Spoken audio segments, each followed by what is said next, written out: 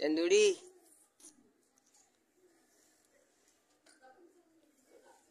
और चंदूड़ी?